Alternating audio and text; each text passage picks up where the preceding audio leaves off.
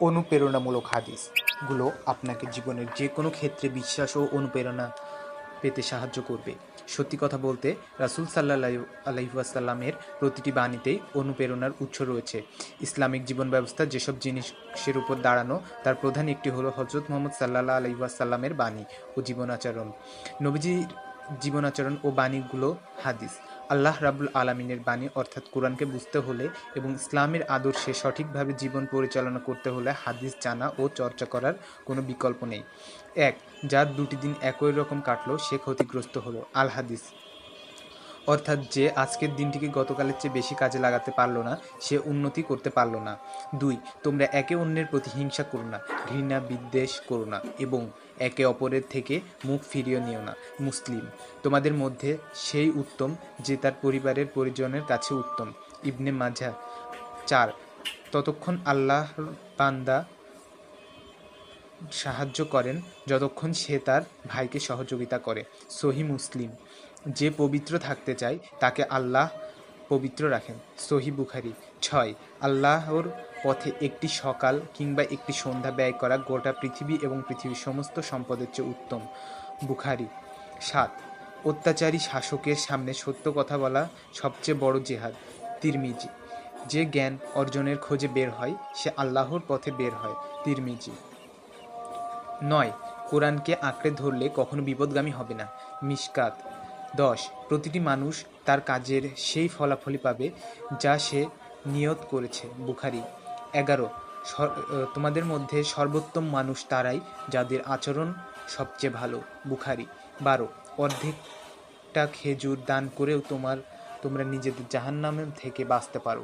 যদি তাও না থাকে, তবে সুন্দর করে কথা বলো। বুখারি, তেরো, এক ব্যক্তি রাসুলুল্লাহ সাল্লাহ আলাইসাল্লামকে এসে বললেন, আমাকে কিছু শেখান, যাতে আমি সুন্দরভাবে জীবন কাটাতে পারি।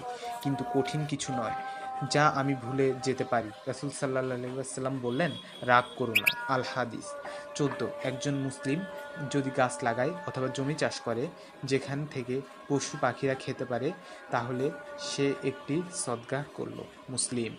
পনেরো, সব ধরনের দাগ দূর করার জন্য কিছু না কিছু আছে। মনের দাগ দূর করার জন্য আছে আল্লাহর স্মরণ, বুখারি। ষোলো। কোনো কাজগুলো সর্বোত্তম।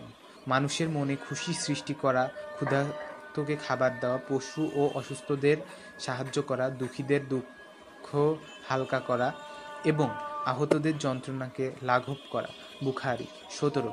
তুমি যদি পূর্ণভাবে আল্লাহর উপর ভরসা করো, যেমনটা করা উচিত, তাহলে তিনি অবশ্যই তোমার সব প্রয়োজন পূরণ করবেন, যেমন তিনি পাখিদের জন্য করবে, করেন।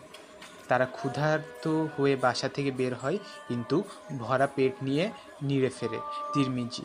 আঠারো, আল্লাহ তার সৃষ্টিকুলকে সৃষ্টি করার পর তার আরসের উপর লিখেছিলেন, নিশ্চয় আমরা আমার দয়া আমার ক্রোধকে প্রশমিত করবে, বুখারি ও মুসলিম। উনিশ, যারা তার সৃষ্টির ওপর দয়া করবে না, আল্লাহও তাদের উপর দয়া করবেন না। আবু দাউদ ও তিরমিজি। বিশ, তুমি তোমার হৃদয়কে সকাল থেকে রাত ও রাত থেকে সকাল পর্যন্ত অন্যের উপর হিংসা করা থেকে বিরত রাখো।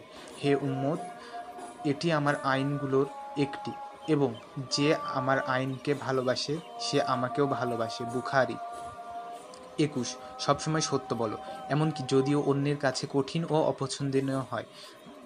বাই হাকি বাইশ। দয়া বিশ্বাসীর একটি চিহ্ন, যার দয়া নেই, তার মাঝে বিশ্বাস ইমান নেই। মুসলিম তেইশ। যখন এমন কাউকে দেখবে যাকে তোমার চেয়ে বেশি সম্পদ ও সৌন্দর্য দেওয়া হয়েছে, তখন আফসোস করার বদলে এমন মানুষের দিকে তাকাও যাকে কম দেওয়া হয়েছে মুসলিম। চব্বিশ। নিশ্চয় নিজের সন্তানকে উত্তম ব্যবহার শেখানো গরিবকে শস্য দান করার চেয়েও উত্তম মুসলিম। পঁচিশ। দয়ালু লুর প্রতি আল্লাহও দয়াশীল হন।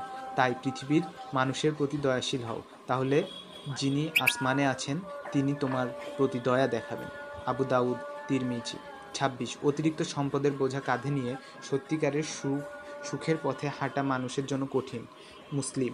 সাতাশ, একবার এক লোক রাস্তা দিয়ে হাঁটার সময়ে রাস্তার উপর কষ্টদায়ক কাঁটাযুক্ত একটি ডাল পড়ে থাকতে দেখল। লোকটি কষ্টদায়ক বস্তুটি রাস্তা থেকে সরিয়ে ফেলল।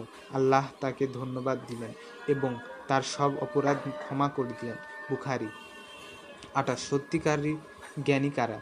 যারা তাদের জ্ঞানকে বাস্তবে কাজে লাগায়। বুখারি, উনতিরিশ। আল্লাহ আমার কাছে এই কথা প্রকাশ করেছেন যে, তোম- তোমাদের অবশ্যই বিনয়ী হতে হবে।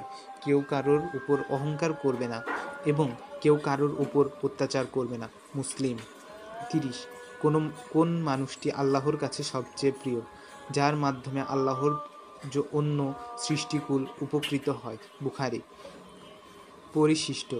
আগেই বলেছি, পৃথিবীতে যত অনুপ্রেরণার হাদিস উৎস আছে, তার মাঝে রাসূল সাল্লাহ আলাই ইসলামের হাদিস অন্যতম উৎস।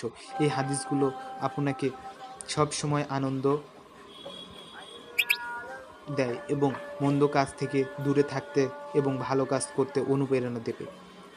তার পাশাপাশি যে কোনো অবস্থাতে আশাবাদী হতেও নিজের লক্ষ্যে পূরণের পথে কাজ করে, যার উৎসাহ দেবে বলেই আমাদের বিশ্বাস।